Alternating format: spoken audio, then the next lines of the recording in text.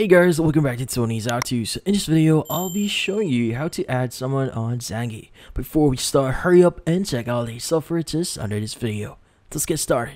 In this case, for you to add someone on Zangi, what we need to do first here is we need to access our account or our Zangi here. In this case, let's go open up Zangi. And from here, what we need to do is we need to go to the uh, person or people icon that you see at the very bottom here.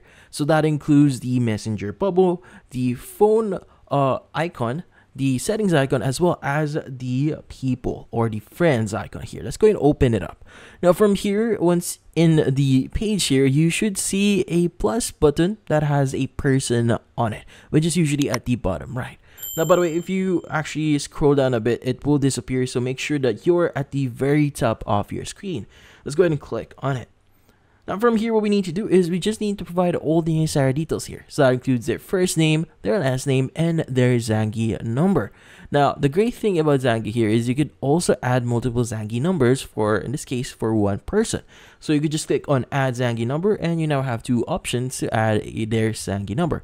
Now you could also add their picture by clicking on the profile photo option as you see at the top left here and basically choose from the number of photos that you have. Now, once you've added all the details, just click on the check at the top right to apply your changes and from then on, you've just added someone on Zangi. And that's about it. So, if you found this video helpful, hit the like and subscribe button and watch our next video.